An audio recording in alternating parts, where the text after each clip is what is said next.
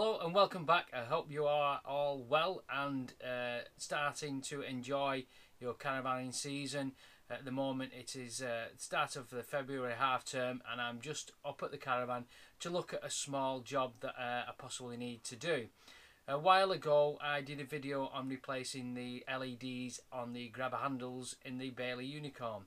Uh, and I was contacted by a, uh, guy who subscribes to the channel called Mark Aucott, and he told me about uh, a potential problem with one of the pipes on the Alde Eating. And it, the fact was that the pipe is, is catching on part of the framework of the seating at the front of the van.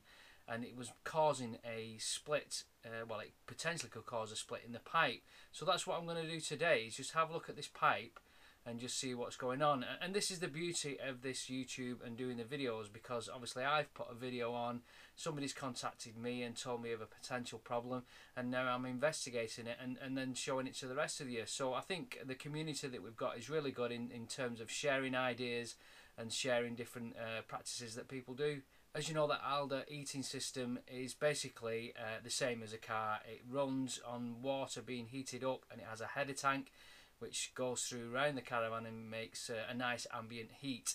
Inside the water, it has ethylene glycol, which is uh, antifreeze, which stops it from freezing, obviously. Um, and I don't want that all over the van, so let's have a look.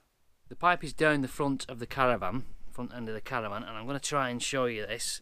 I've taken the seats up and the benches up, and it's this piece here.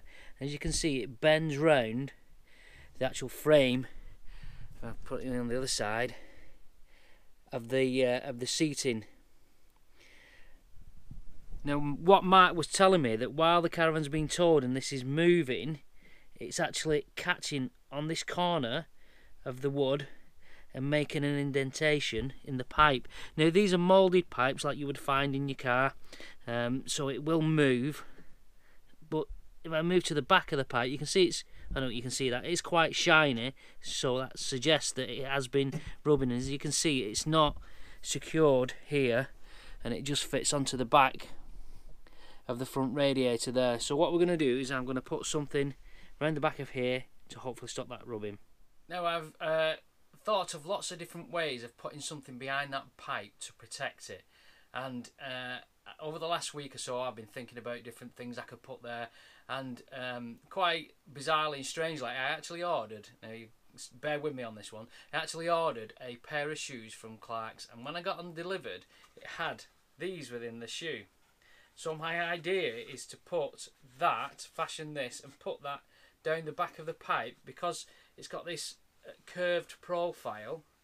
It's hopefully gonna maybe push the pipe away from the, the sharp edges of the wood. So that's the insert from a shoe and I'm just going to cut it down and then I'm going to fasten it to the back of the wood. Let's hopefully see if that works.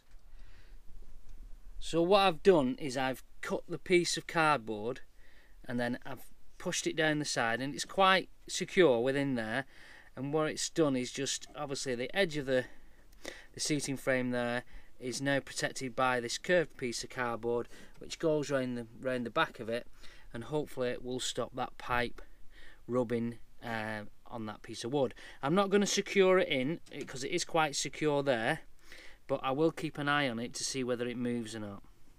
So there you go, just another quick fix this week. It's a short video uh, because I've got quite a lot on this week. I'm going down to the uh, caravan camping and motorhome show down at the NEC. I'm going to be there on Tuesday, so if you see me walking around, please do stop me and, and you know have a chat. Uh, thanks again to Mark Aucott for pointing that out uh, about that pipe. I would never have known about that unless you put a comment on the video.